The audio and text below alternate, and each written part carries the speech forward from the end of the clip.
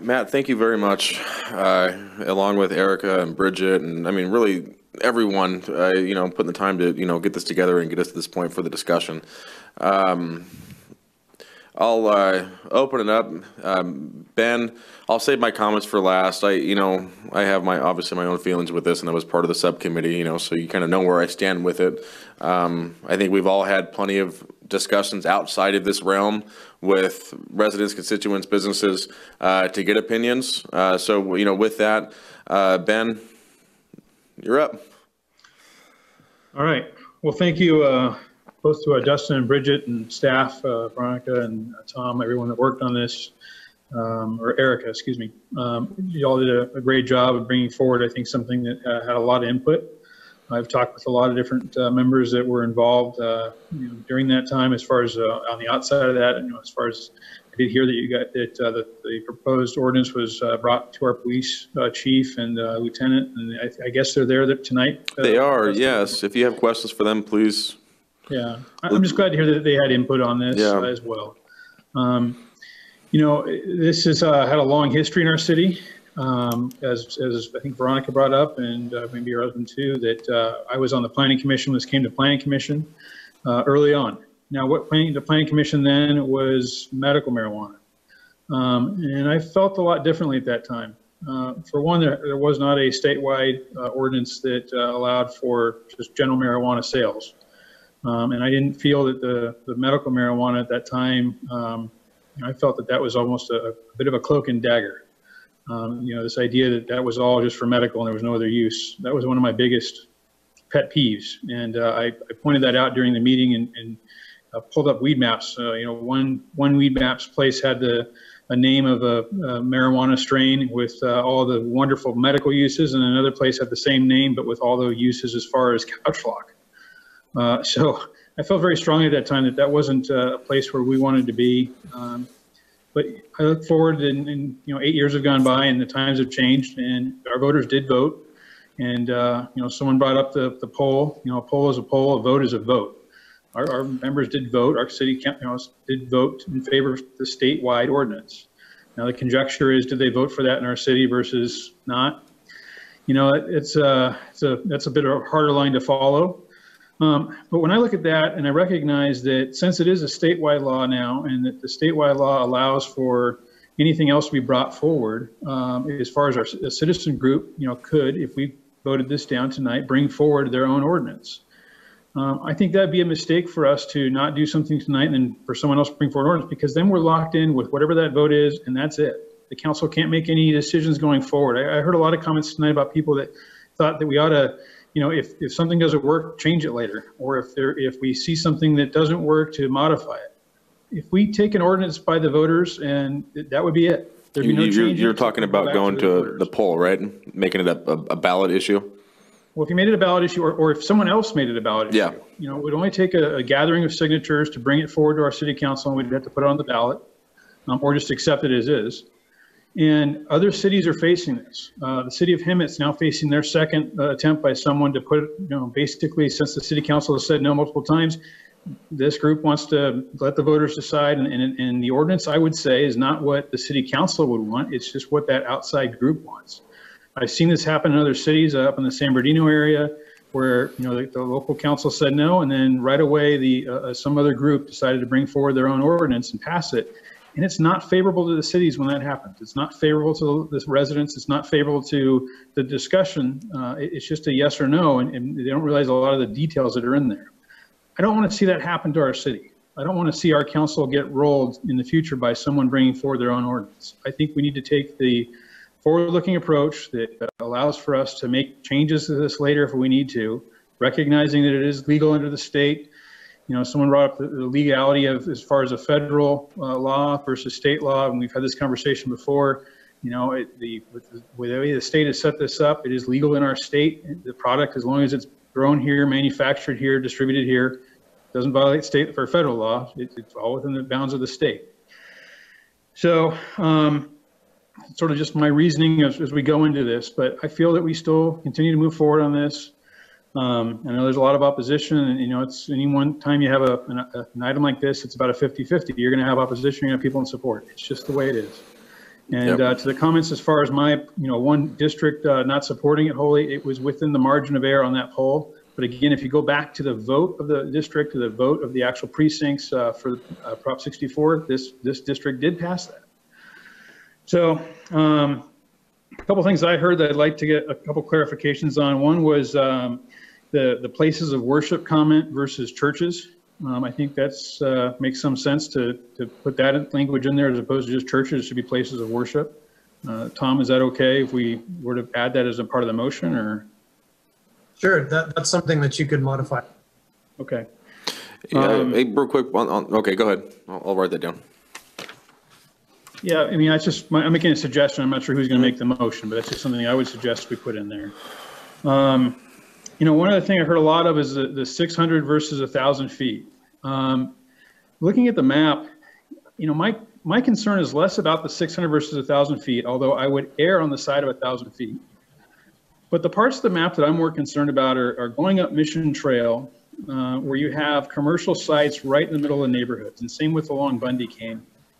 That's a bigger concern to me. Uh, When I see those sites, I think of what might go in there. Now granted, this place, these places aren't supposed to have any, um, you know, as far as the, it shouldn't be too obvious what it is, and, uh, you know, everything should be behind a, you know, an entry lobby, so we're not gonna see product right up front, but I still, I, I- I wonder if anyone else has a, you know, I'd be interested in all your comments, if we think that's a good place for those businesses to be right there on Mission Trail, um, again, mixed in with the neighborhoods. I would feel better if we had some sort of a, even if it's a 150 feet from a house, you know, be in the commercial areas and more in the commercial districts, um, as opposed to being along a a residential area that happens to have commercial sort of dotted along it.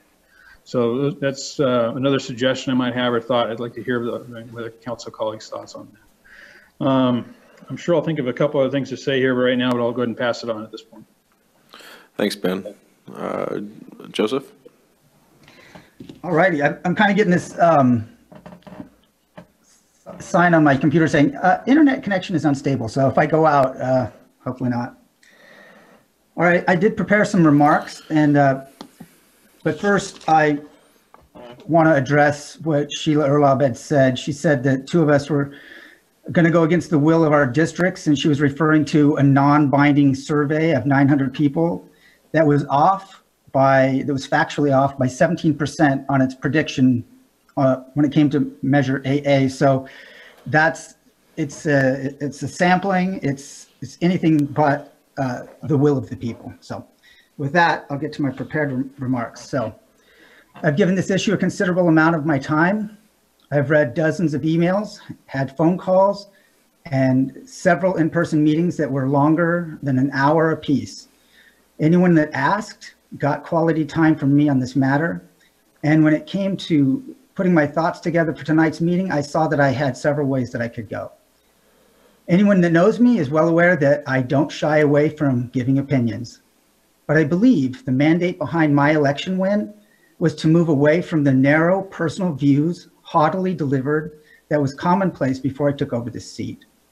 So instead of dissecting every aspect of this agenda item, I'm going to acknowledge that both sides of this argument are comprised of good people with good intentions, have made good points, and their concerns are worthy of being heard and deliberated on, which I'm sure all five of us have done for months.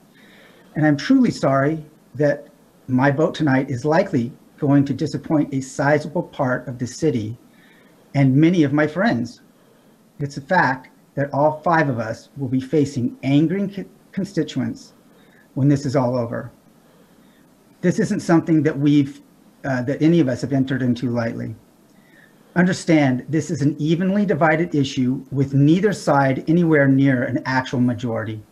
No matter which way this is voted on, a third will be happy, another third will be angry, and the final third will be glad it's finally over with, saying, now let's turn the page.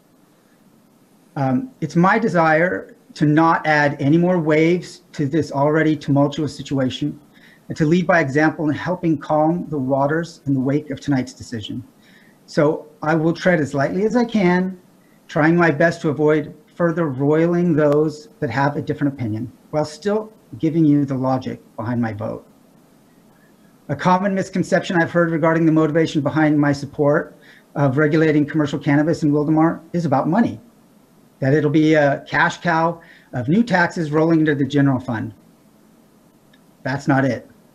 Though from the email comments, uh, emails and comments I've read, it seems that many people recognize that commercial cannabis will indeed come with additional revenues to the city, which would be used to boost our historically anemic budget. No, my motivation isn't about money to the city. My motivation is long term, the end of the unregulated market and the criminal element behind it, while supporting the liberties of others. Is that unrealistic? I'm not suggesting that the unregulated market will go away tonight or tomorrow or next week or next year. It could take decades to kill off the unregulated market and the misapprehensions associated with the cannabis industry. But we need to start that journey. Let's uh, look at the history of prohibition. It ended in 1933 after 14 years uh, during which a thriving, unregulated market took root and flourished. I was born 31 years after prohibition was repealed. By the time I was learning about prohibition in school, more than 40 years had gone by.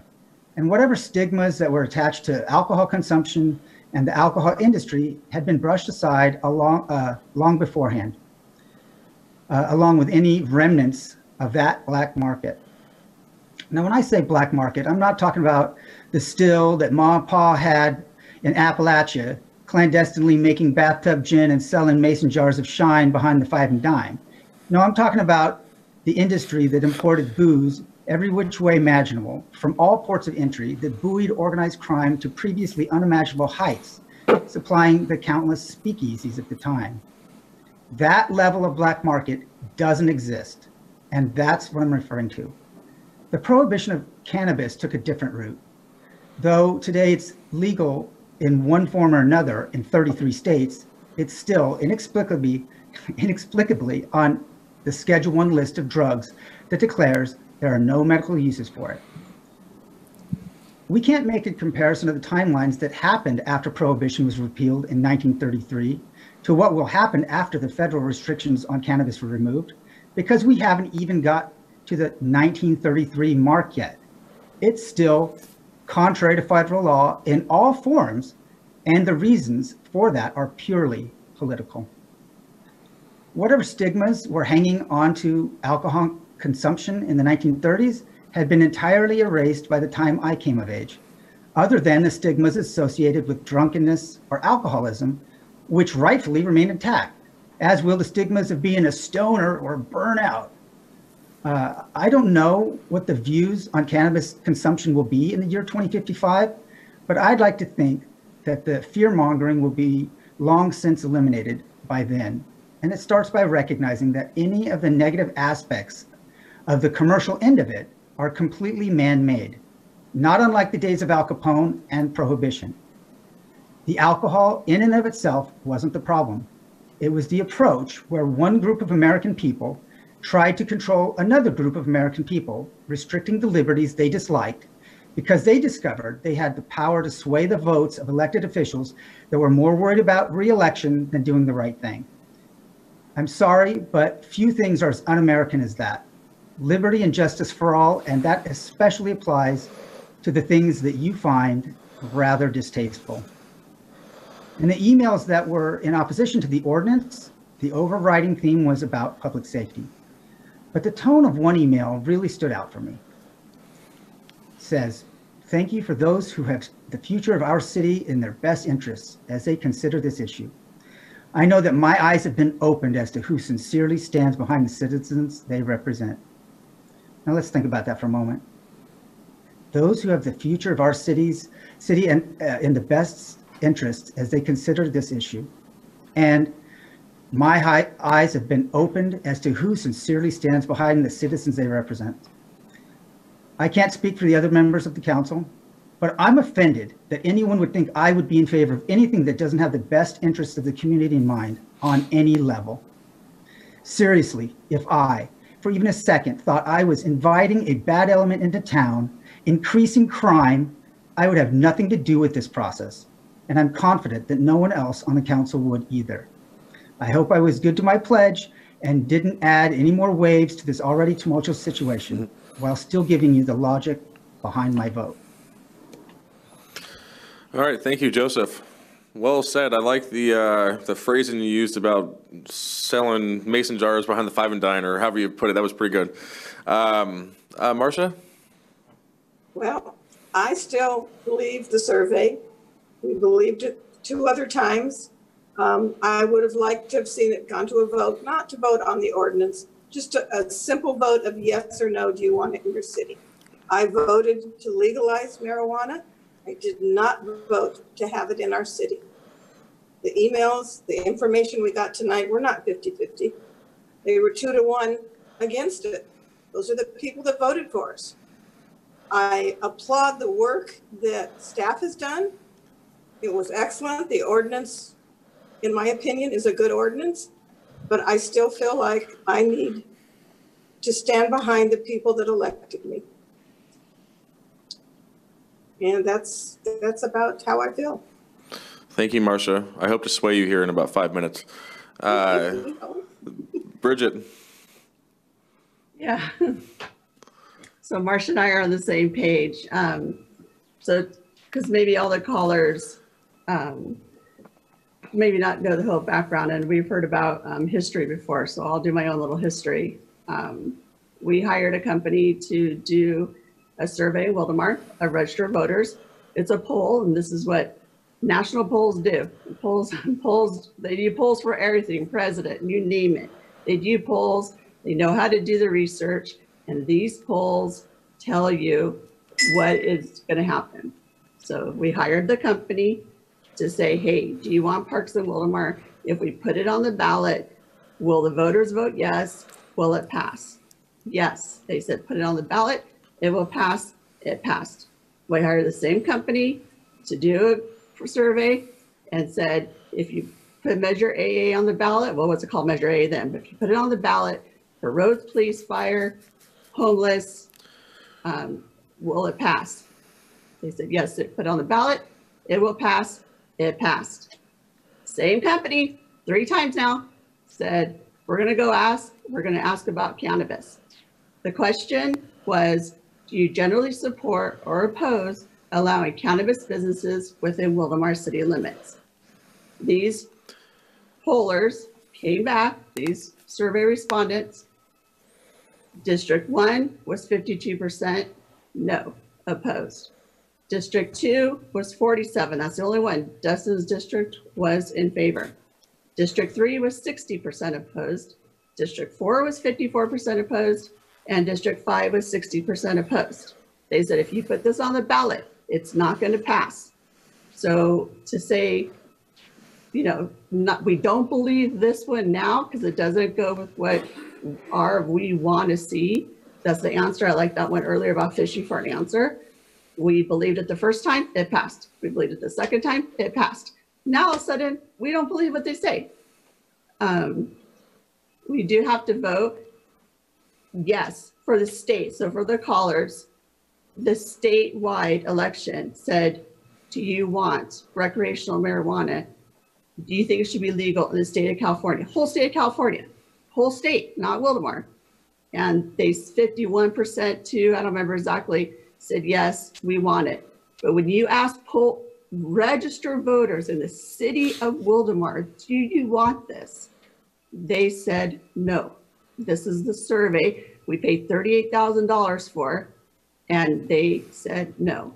So my district is District Four, 54% are opposed. It doesn't have to, do anything to do with whether I like marijuana, don't like marijuana, I think it brings crime, any of all that, revenue, that. My residents in my district do answer in the privacy of their own home to the poller that we've hired three times to say, no, we do not want it in our community. Okay, Bridget, thank you for your comments, and I will echo my comments to Marcia. I hope to sway you here uh, now. All right.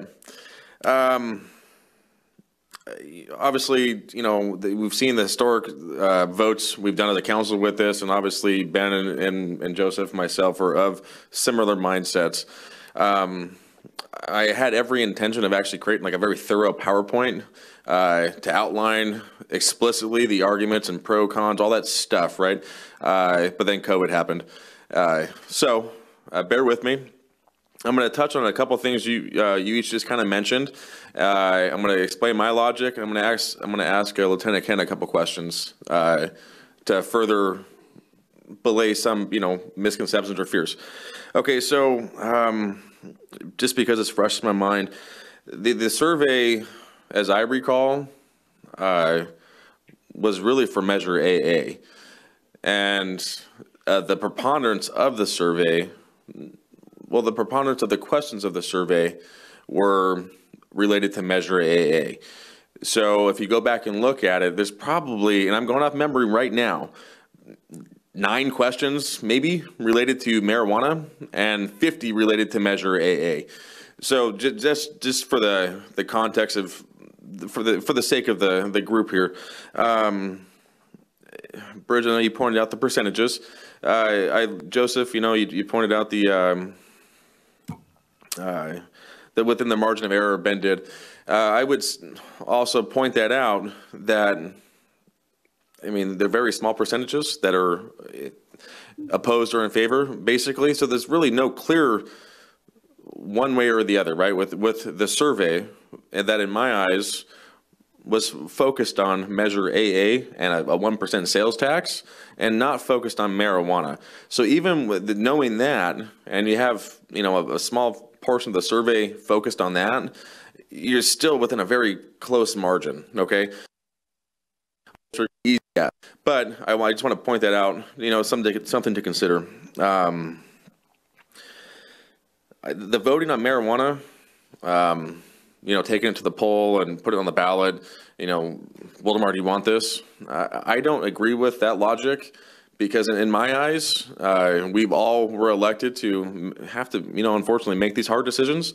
And if that's something we're not willing to do, or we don't want to do, or you know whatever, then I would I would, argue that everything goes to the ballot. Next time you know the hospital wants to do something with their signage, uh, uh, okay, it's outside the you know outlined ordinance. Let's put it to the ballot. You know, and that's that, you know that kind of thinking. That's where it kind of leads to, in, in my eyes. Um, I look at marijuana kind of like COVID, the whole COVID thing, right? It's it's turned into a partisan thing, and I, you know, I don't think it necessarily used to be. Uh, somebody had mentioned earlier, one of the uh, public comments, choice. That is a thing, and that's something I, I think that we all tend to forget. Uh, that that's just reality, and you can relate that to masks or going to a, a dispensary. You know, so uh, if you don't like the government telling you you have to wear a mask, I mean, do you want the government telling you you can't, you don't have this here, right? Um, and, and vice versa. The whole thing's muddy. And, and speaking to COVID, I will analogize it with. Uh, there's lots of information out there that support one side of the the argument or the other, right? And you see it all over social media, and that's kind of how I look at marijuana too. You can get a survey in Colorado, and you can pull the good or, or bad out of it, and you know both sides will give you a a um, an authored and vetted research you know paper pro or against. And on both sides that look very valid or appear very valid. And it's really up to us to kind of have to to parse through those things right? And, and figure out what is best for our community. So this is where we'll get into where my thinking is. If you've noticed i've never talked about money with it sales tax that is probably the furthest thing from my my thought i will say that I felt it more incumbent upon us now, given our current situation, to continue the process that we started about a year ago. Uh, for the simple fact that our economy is in a terrible dump now, and I wanted us as a city to be, if we do go forward with this, I wanted industry to be ready when we do open back up and things are back to normal, because people will need to work. Uh, and I'm not talking about sales tax and it being the messiah that everybody thinks it is as far as tax revenue. It's it's not. In my eyes, it's not. Um, anyway, if we recognize that it's here already, that's my biggest my biggest piece with this. It's here, and we see it all over social media with these illegal grows already. And I feel like every time they, the sheriff's department goes out and closes one down, it adds more weight to the argument that we need to regulate it. Because right now, there's no incentive by anyone other than just them being good people to go and, re- and find these things and, re- and report them, right? We don't know about it until, you know, well, pretty much after the fact when a house blows up, you know? Um, I'd much rather regulate it. At, at the very minimum, a retail place has it and they get wind of a possible grow house somewhere. I'd rather get there and shut them down before a house blows up. I think that's part of the, the public's benefit to this is being able to identify the, the people that aren't playing by the damn rules and that are putting other people's lives and safety at risk because they don't care. Um, there's every incentive for a business to want to report those things for the simple fact that they don't want them as competition. And I'm okay, whatever the reason is, I don't care as long as we are getting ahead of it and shutting them down ahead of time. Um, also, um, I spent a lot of time talking about this. Um, you know, it was pointed out earlier that states that have, that have allowed this have an increase in in uses from from children, right, or from kids, teenagers, whatever. The biggest problem we face as a society is the choice piece. It's parenting and education will go the furthest to limit things. If you've noticed, smoking is illegal. I'm a smoker, but uh, I want to say I've read recently that smoking is on a decline uh, with teenagers because of education and parenting. Uh, that's that same logic needs to be applied with not only marijuana, opiates, cocaine, all those other things that we don't want people doing, right? That are bad. Um, and I can tell you this: I told this to a resident yesterday, but kids are going to, people are going to choose to do whatever they're going to do. I would prefer if they do choose it, for them to at least get it in a manner that's semi-safe, right? So the way it's structured now, the way it's grown and all that is cradle to grave. Uh, there's an age limit to get in. It's relatively, you have to go to site, you have to be deliberate with it, right? If you know you're going to buy it, you have to be deliberate with it and go get it. If a kid, if a teenager is going to get marijuana, I much, I would prefer all night and day that they go and steal it from their parents who bought it from a legal dispensary than to go to the drug dealer in the corner and buy it that way.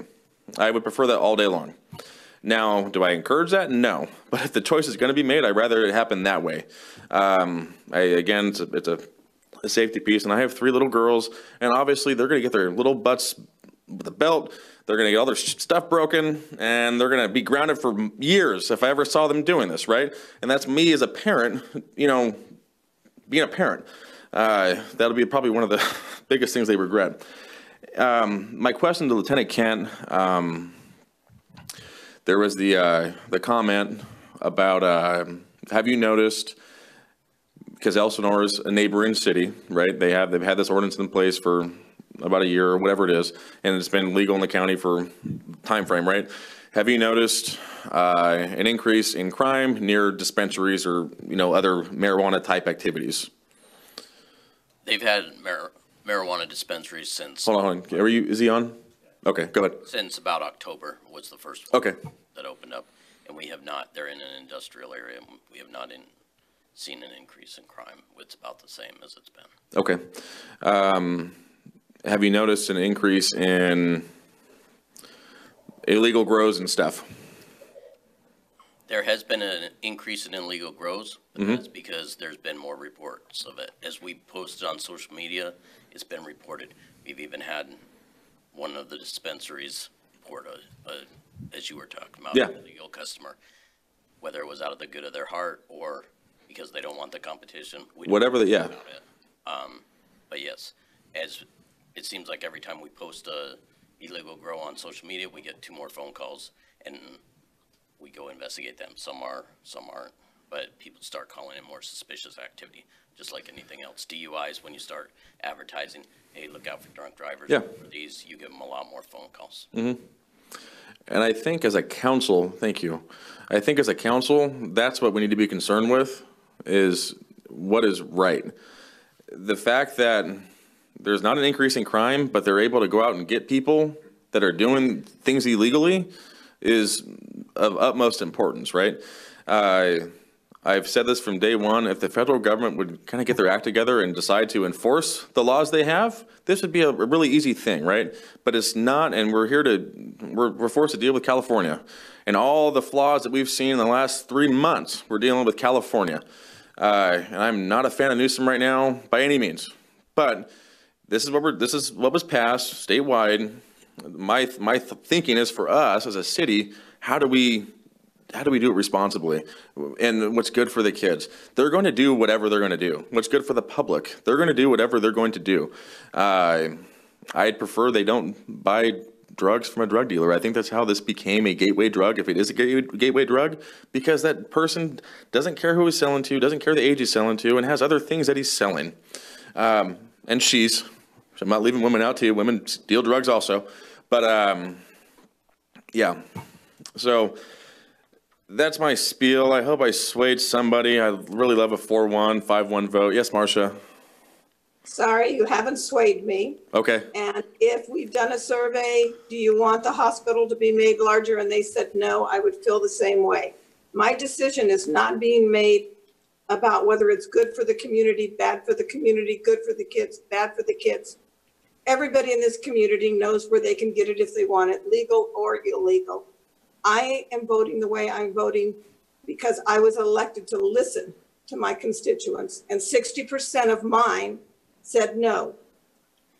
So that's where I'm coming from. So that's why you haven't changed. The ordinance is good. I don't have a strong feeling either way about whether we have cannabis or we don't have cannabis, but my constituents do. And I was elected to represent them, as were you, Joseph. Which I am. Thank you. Thank you, Marcia.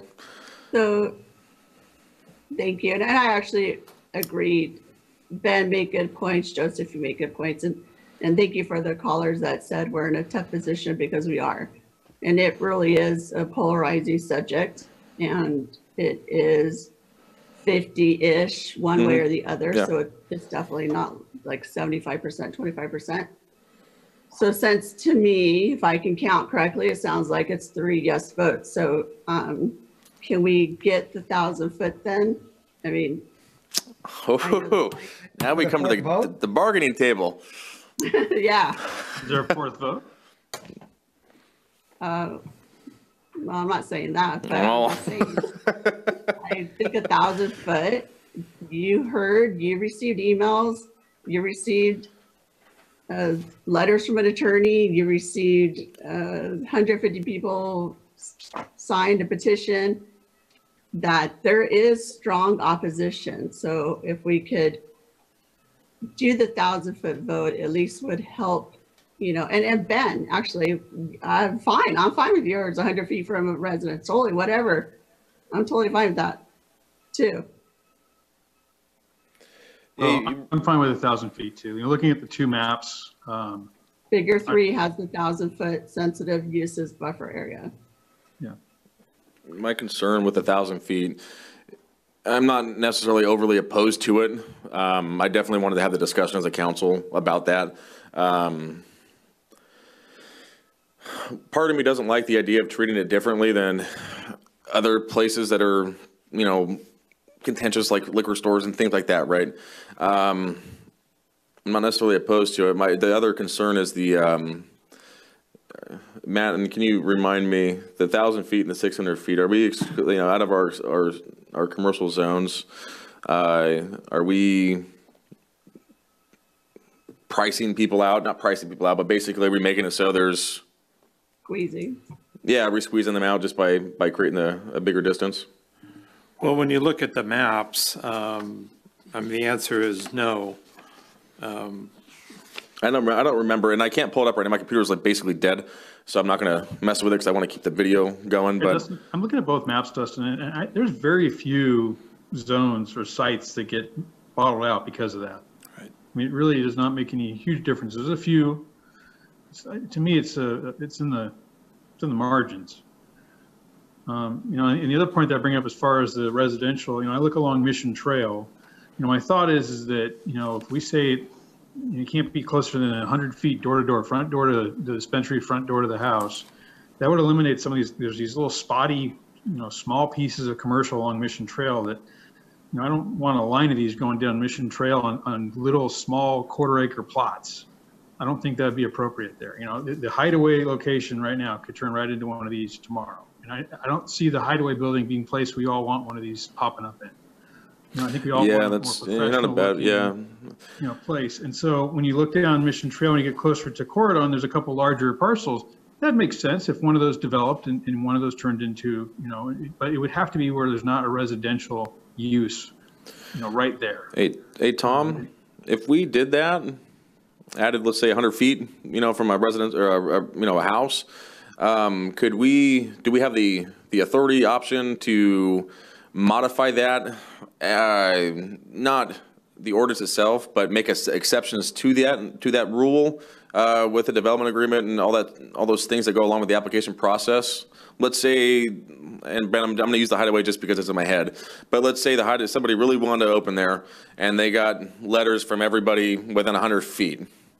Would that be something we can uh, proceed with? No, i- if you've got language in the ordinance that provides distance requirements, you can't contract around that Okay. through a development agreement.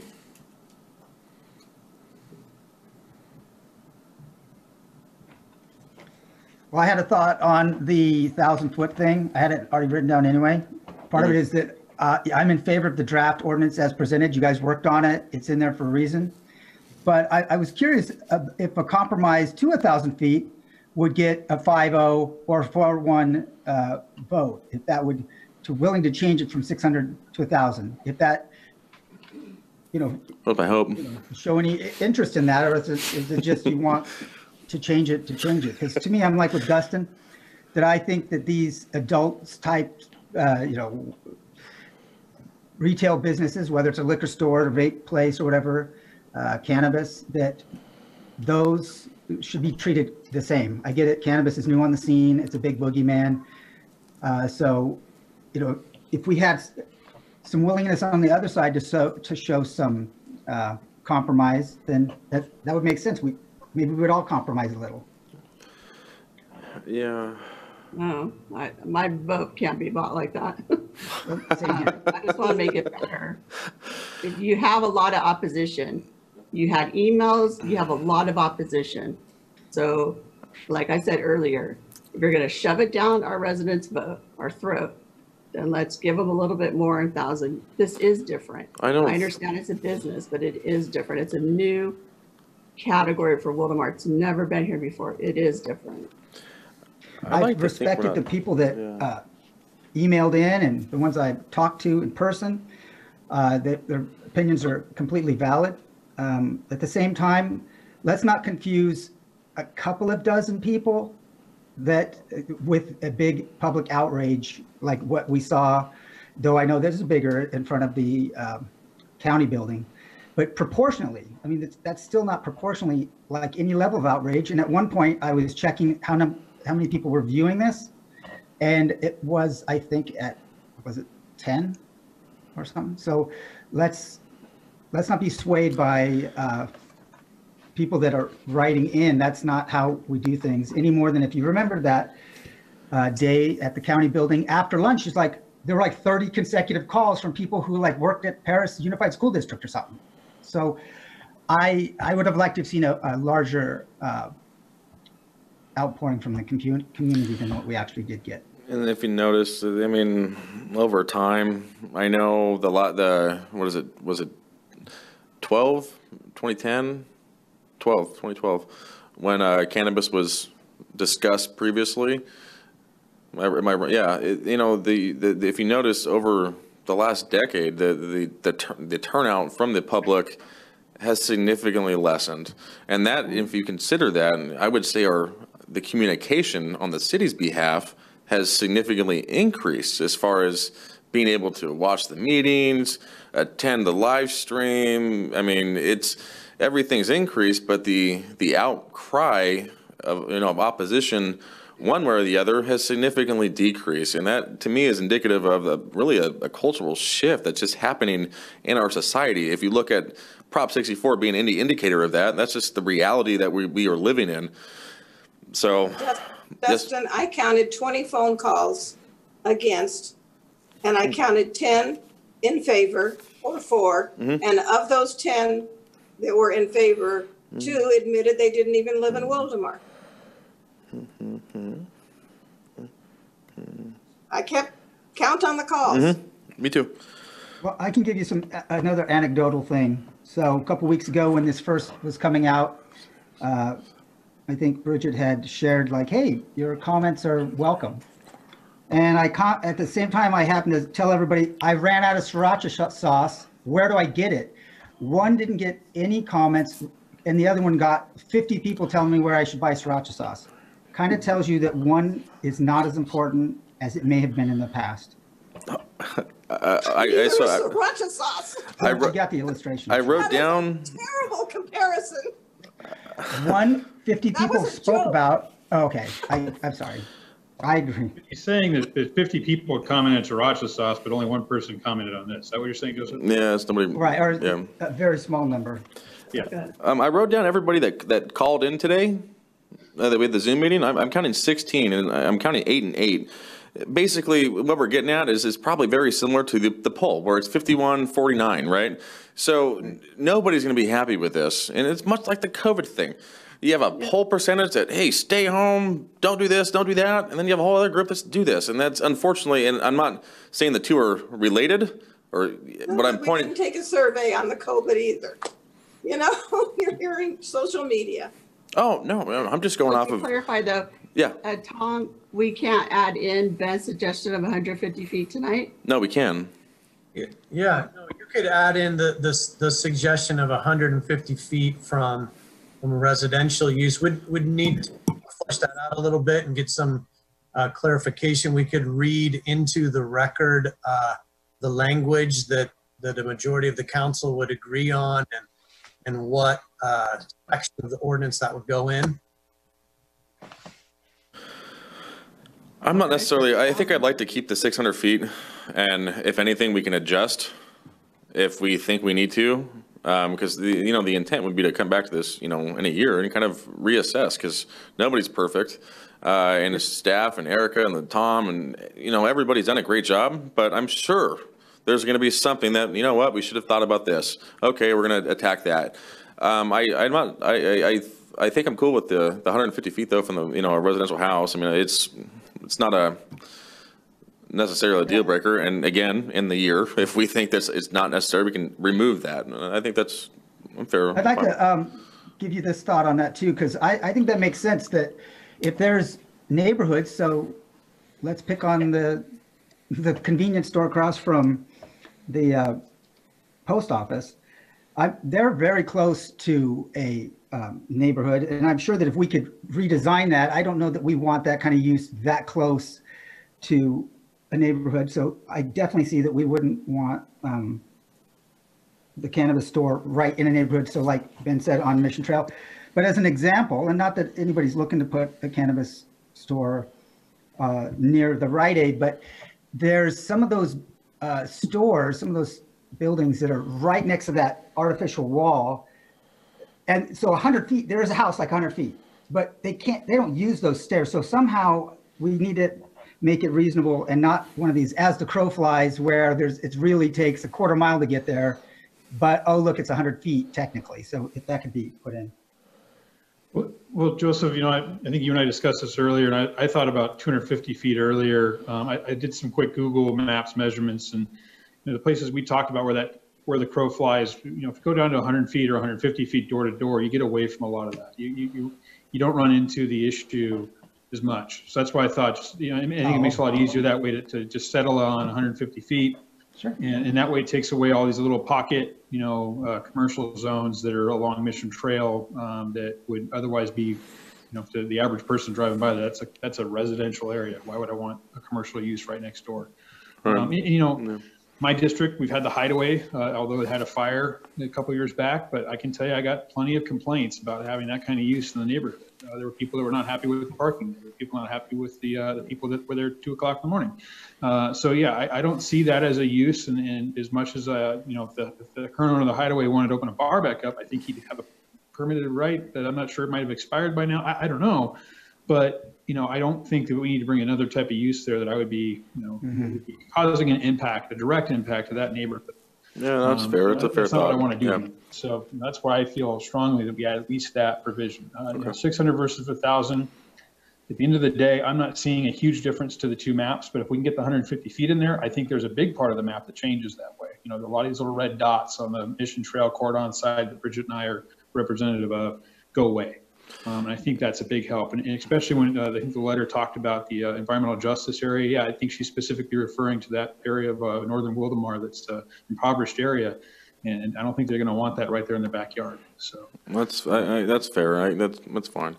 And like you said, we can, or we can hit it up in a, in a year and, well, you know, on that thought, Dustin, one thing we can't go back in a year, if, if, you know, we see a bunch of use come in, once it's here, it's a little hard to get rid of, right, Tom? I mean, it's not like, I mean. yeah, no, you're right. Yeah. I don't know that we could change the, the rules on the person that came in the first year. No, they'd be grandfathered. don't Want one there. So that's why I really want to make sure we get at least this part right as Yeah. far as, uh, keeping it out of the residential zones. You know, that, you know, especially you have a residential zone in my district again that had a, a legal operation that absolutely drove us all nuts for years because it was at that point, the, the district attorney wasn't doing what he's doing today and neither was our sheriff at the time in going in and shutting these places down. That, that finally has changed and I'm really proud of that. I'm really proud of the fact that when we do see an illegal operation, it's usually a few weeks and uh, we get a pat on the back from our, our sheriff's department. Don't worry, we're on it. And, and we're reading about the fact that they're being shut down. And I think that's a, a great thing from, from both the district attorney and, and our, our sheriff. Thank you for doing that. Um, but, you know, at that same time, I think them providing some sort of legal opportunity makes sense. So, All right. so Well, um, Did we figure out the places of worship part? That's in there? Yeah, that, that's, uh, you know, that was one, one suggestion I would make, uh, that that we call it places of worship instead of churches. The second would be the 150 foot, uh, for, you know, residential. And oh, that's then, right. I need uh, to, if I'm not hearing any movement on, you know, getting another member to go to 1,000, I'd say we leave it at 600. But I think By going to the, the 150, we've picked up a lot of those areas I think Bridget and I are concerned. hey, Erica, I- with the places of worship, vice the verbiage is in the ordinance right now, does that, uh, my concern is the definitions of, of that and what, you know, what, what does that classify? And th- this is the same thought, I've had these, these discussions with daycare. So my, my thinking is, okay, and we call it a place of worship, uh, what what defines that, I guess. And with that, you know, could they just could I call City Hall a place of worship and limit, you know, 600 feet around me? You know, I mean, it's So you, you have flexibility to define a place of worship however the city feels appropriate in the ordinance. You're not beholden to, to follow any given definition. Um, In this particular case, if you're going to add places of worship to the sensitive uses that are set back 600 feet from cannabis businesses, um, home-based churches might be something that you want to think about. Because if someone has a home-based church, is that going to qualify as a place of worship? Or is it going, are you considering more uh, standalone facilities, uh, you know, where, that operate out of, and that's the sole use. It's not a church operate out of a house or a school, even though that example doesn't really matter because schools are already subject to Yeah.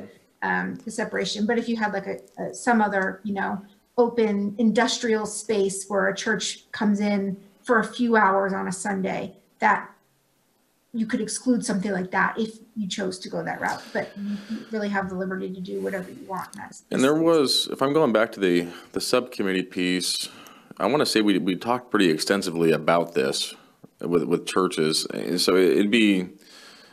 Although maybe not a va- invalid point, I, I think I'd prefer to leave the verbiage as is with, in, in the ordinance, just because we've definitely thoroughly gone through that with California. And if I'm, if I'm wrong, just shake your head yes or no, but we went through those pieces. You know, am I wrong there, Matt? We did.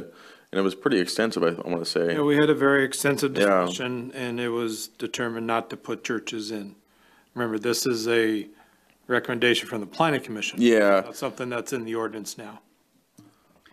Well, the how about, if- oh, go ahead. Go ahead, Joseph.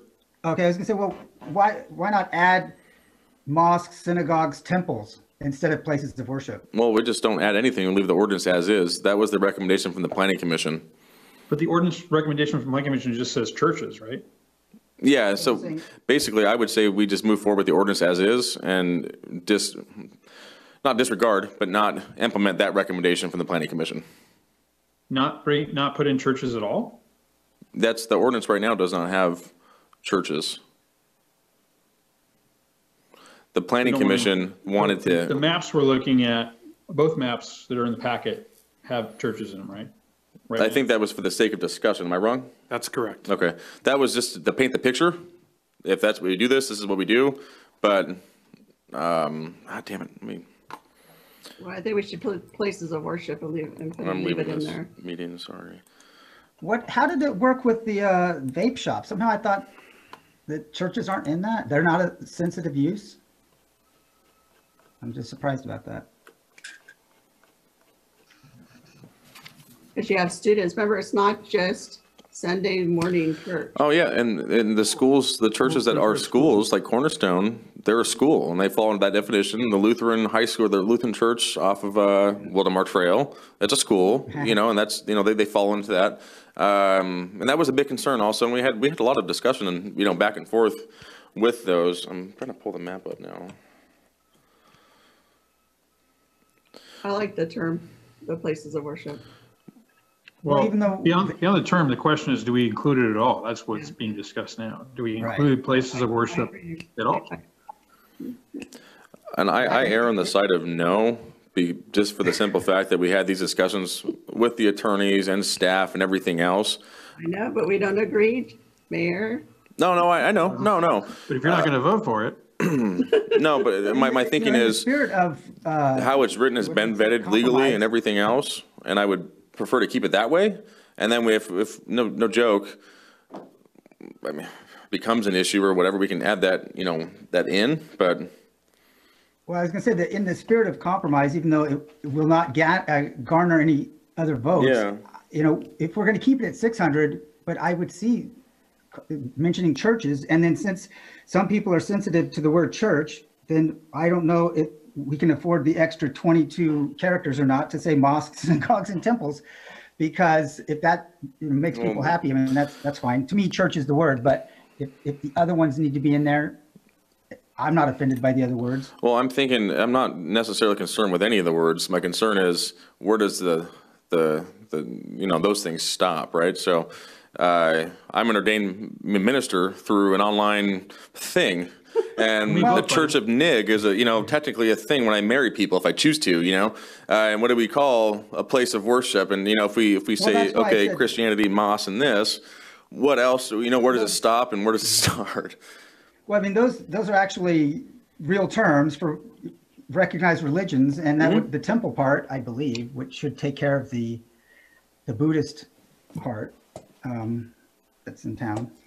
So, I, like I said, so I could see as a, because to me, the churches make sense, actually. I mean, I was kind of surprised that's not in there. So add the churches, and then that's the, the compromise on the six hundred feet. It Shows goodwill, even if the other side doesn't want to vote in favor of it. Even, even though you're not going to get my vote, I don't think churches should be in there or house of worship. I don't know what they worship. They could be worshiping the devil. I don't know. I think that's every person's personal feeling as to what they worship or whether it's a church or a synagogue or whatever it is. see, look at that, Dustin. You got Marcia's support for that one argument. Not my vote, but my I support. I didn't say vote. I didn't say vote. I was very, very clear on. Well, It- you know- It could mean anything. Anything could be a church. As Yeah. does that he's ordained. He could call his house a church. Sure, but that, Well, you're not going to be able to put something in a neighborhood, so that's, you're done anyway, right? Well, with 150 feet, but if you call yourself a place of worship in a house, then that's 600 feet, right? So it- it's just one of those things. I'd prefer to leave it as is. That's my personal, I'm not, that's my personal desire Doesn't with it. to To leave out churches, period. To- to- to- Yeah, the, the, the- the ordinance as presented, you in it, with Okay. additions of the Have the record 150. reflect that Marsh and I swip- swapped on that one, but it's, it doesn't change anything, so. Okay, Even though we're all not going the same direction, we're still making some sausage. That's what I see. So. there it is. oh, yeah. Okay, so, um, so it sounds like 150 feet from residential, you know, from some sort of a, a door-to-door type, uh, marker on that one. Uh, 600 feet, I think is where the, the majority is laying on, on the other item. And then just to leave out churches Yes. or, hou- or houses of worship. We'll just leave it as, leave the ordinance as is right now wa- regarding that kind of, you know, Not, not add that one item. that the Yeah. planning commission approved. Except the residential, add that. Yeah. Yes. Yeah, I'm saying add the residential. yeah. So I second that. Okay, well, hold on. We need, um, whoever makes the motion, I want you to read the entire ordinance, please. And it'll be ordinance number 187. Mayor, Mayor, Mayor, before we get to Oh, sorry. the ordinance, let's, uh, let's let Erica read into the record Smart. the language for, uh, uh, 150 feet from, from residential or from homes. We've- We've got to read that in, including the, the section where it will be located. Okay. Erica, are you prepared to do that? Uh, yes, I just want to clarify whether it's 100 feet or 150 feet. I think I'm comfortable with 150 feet. Um, and that, I think that's a good, good balance. Yeah, that was a, I think that's a good catch, Ben. Mayor, if I could, Yes, before sir. Erica reads that in, Yeah. I just want to make a clarification. Um, It, it should go into 1731570 in the um, zoning uh, ordinance amendment under locational requirements. That's where the 600-foot distance standard is. And in section B, the way you measure that is a straight line without regard to intervening structures or topography from the nearest point of the building or structure where the cannabis business is located to the nearest property line of the parcel where such use is located.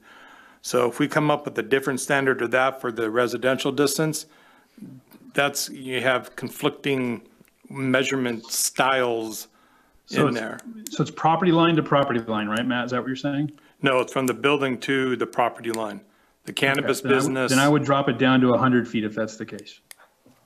Okay. If that makes, if that makes sense, because that way we're not taking into, the you know, and that still leaves open the places that, you know, what that Joseph and I talked about, where you might have a, a house that's on a hill backing up to it, but is, you know, as the crow flies, uh, up the hill, you know, 300 feet away, but, and if you have to drive from one place to the other, it's, you're going around the block. But, you know, that, that, you know, that, there, you can, you can have that use down in the commercial area down below it. Okay. And Yeah, I'm good it's with that. just measured on a plat map, they're not going to take into considerations any hills or the topography. It's from property line to property Right, property. and that's why I'm saying, Okay. go a smaller, smaller number, 100 feet gets us away from having the issue of the plat map, you know, knocking out all, every, every little available piece of real estate. Yeah, I'm, I'm, fine- I'm fair with that. That's, that's good. Okay. So do I we need could just add to? one Yeah, go other ahead. thing too. Um, You haven't talked about whether or not, as part of the commission's recommendation, to expand the definition of youth centers. Oh, I, I don't, nec- I don't want to, no. I, I, that, we had a lot of back and forth with that, a lot of thought, a lot of everything. And if we, if we keep with the intent of for treating it like a business, um, I think that we, we're going down the right path with the ordinance as it, as it is. I like the, I think the, the res, the hundred foot residential thing is a, a good idea, a good catch. Uh, for the simple fact that I do think that Mission Trail, at some point when we update the general plan, will have, you know, commercial pieces that we need to rezone, identify, you know, but I, um, yeah, a lot of thought went into that. That's my opinion. We put a lot of thought and, you know, back and forth with this, but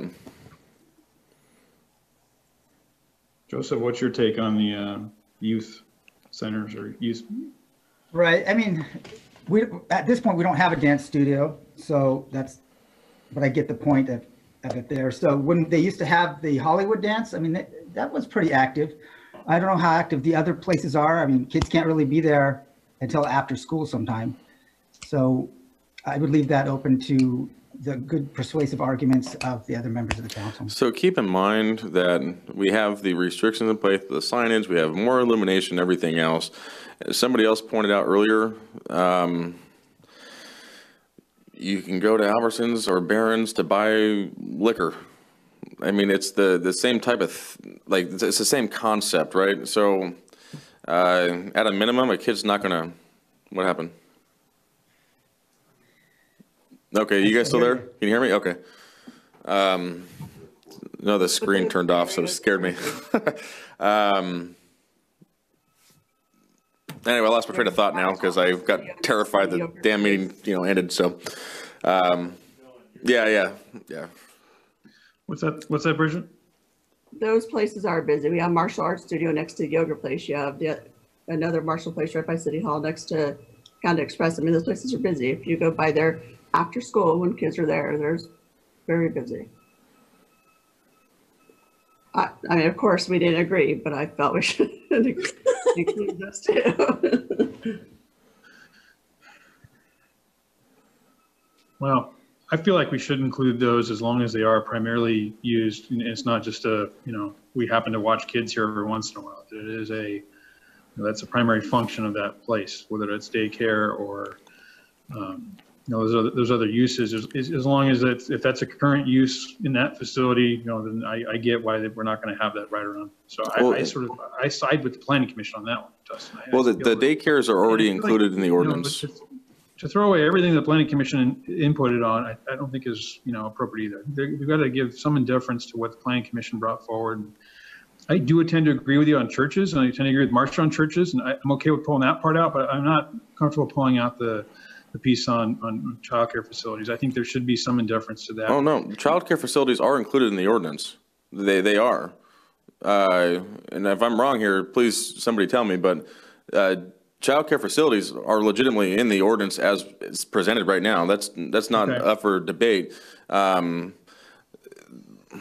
the, I, the- I look at the, the recommendation that the planning commission made as being something like Krav Maga, the, right here in the center. That's not a, a, a, you know, a childcare facility, and I agree, man, I don't want, you know, it's, it is what it is. Uh, daycares are, and we're, we're using the state definition for daycares. Uh, I look at the, Yeah, I, I, I agree with you there, Dustin, because think about it, where that uh, martial arts studio is at. If somebody, like, because there's a vape shop that's around the corner, right? That's in the same um, shopping center. Even if they put a place, I, I know there's not a building there now, but even if they put a place by the Starbucks there, the, the kids are not going to be wandering over to, from the karate place over to the other building anyway. I mean, you wouldn't want it right next door, but I don't know if the 600 feet, which means, oh, we've got something in the center, so you can't be on the other side of it. I, that doesn't seem reasonable. yeah, and, and and along that daycares are argument, included. Erica, when, when these facilities have to have a lobby with no product in it, they come in and get checked into, and then they go into the actual product room, right, Erica? Yeah, That's part of the state rule?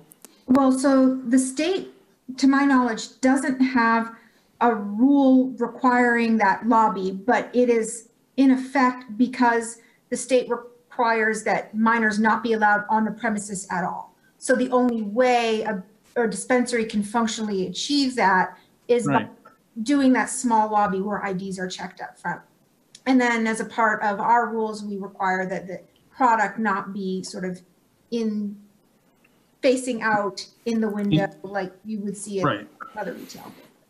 So it's not visible when, if someone were to walk out of the Krav Maga place and go next door to the, if the Sprint store turned into a, a facility, they would not see product unless they got their ID checked and they were let into the building. Correct. The- And to that regard, I understand then, you know, yeah, I- I- daycare right next door, no, but, you Yeah. know, other, other, the other uses they were adding, I guess, I guess I'm with you, Dustin. okay, and daycares are in the ordinance right now as it Yep. is. Okay, okay. Uh, just so we're on the same page, that was thoroughly discussed as well. So, uh, yeah, okay. Um, do we need, Erica, do you have enough to read us into what Yeah. we're voting? Okay. I, I, it's pretty simple. I Okay. got it. So what we'll do is um, add a sentence to the end of paragraph A in section 17.315.070. And that sentence will read, "No cannabis business shall be located within 100 feet of a residential use."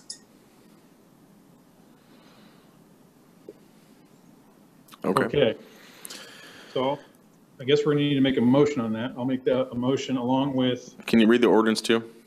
yeah, was there any other piece that we were gonna include, or that's it then, right, right now? That's what, That's for this item, yeah, we still have to talk the, we still gonna talk the fees for two point two, yeah, that's, that's two point two, yeah. But as Yeah. far as this goes, the six hundred feet's the current one. yep. Um, We're not talking about churches and youth centers, went back to the original definition. Yeah, it's back, yeah, as presented in the ordinance, yeah. Okay, so uh, that's uh, ordinance number. oh, I have- 187. Thank you, 187. Yes, sir. The Ordinance of the City of Wildomar, City of Wildem, uh, ordinance of the City of Council of the City of Wildomar, California, adopting a CEQA statutory exemption pursuant to the Bu- the Business and Professions Code Section 20, or sorry, 26055H, and approving the zoning ordinance amendment 2020-04, amending the Title 17 zoning of the Wildomar Municipal Code revi- uh, revise sections 17.12.040, 17.12.050, 17.72.010, 17.76.010, 17.88 uh, dot 010, and 17.92.010, and add chapter 17-315, a new chapter, to establish, sorry, I got to highlight up here, to establish business zoning and use regulations. I guess that's the end of that sentence. There's no period there. Is that correct, Matt? With the changes Erica recommended, or Er- Erica read into the, Changes Erica just yeah. read in regarding the 100 foot on residential. okay, is there a second? I will second that. Oh, gosh, okay. Jeanette, can we have a roll, uh, roll call vote, please? Councilmember Benoit, Aye. Councilmember Morabito, Aye. Councilmember Swanson, No, Mayor Pro Tem Moore, No, Mayor Nigg. Oh, God. Aye. Motion ah. carries three two. Makes my chest hurt, so you know. Motion carries three two with Councilmember Swanson and Mayor Pro Tem Moore voting no. Thank you, Jeanette. Hey, before we move on, thank you everyone for the discussion. I really appreciate that we can do this and not have, you know, daggers come out and everything else. So, Marcia, this is, you and I typically shake hands when we vote opposite, so here's my handshake. Uh, and let's move on to two point I'm two. gonna Yes, find a better chair to sit in next time. no Well, we kidding. still have a second half of that ordinance, right? The number two introduced to approve the first reading. uh, This is ordinance number Correct. 188. Yeah, oh, you know what? I, no, I didn't see that. I, I was on the other page, sorry. Okay, Hold on. so let's do that one too. Is there anything else we need to read in for this one, Erica, or this already has everything There's, okay? all the revisions were to the first one. only. There's no changes to this one. Okay. Gotcha. All right, I'll, uh, I'll make a motion that ordinance number 188, an ordinance of the City Council, of the City of Wildomar, California, adopting a CEQA statutory exemption pursuant to the Businesses and Professionals Code Section 20, I'm sorry, 26055H, and amending Title 5 Business License and Regulations of the Wildomar Municipal Code to add a new code section, Chapter 5.76, to establish commercial cannabis licensing regulations in the City of Wildomar. Okay. Is there a second? I second that. Okay, Jeanette, can you do a roll call vote, please? Councilmember Benoit, Aye. Councilmember Morabito, Aye. Councilmember Swanson, No, Mayor Pro Tem Moore, no, Mayor Nigg. Aye. Motion carries three two with Councilmember Swanson and Mayor Pro Tem Moore voting no. Okay. Again, thank you.